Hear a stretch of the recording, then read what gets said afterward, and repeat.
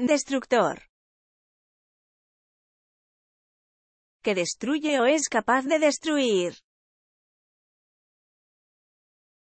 Barco de guerra rápido, provisto de artillería de mediano calibre, que se utiliza para la protección de convoyes, especialmente contra los submarinos.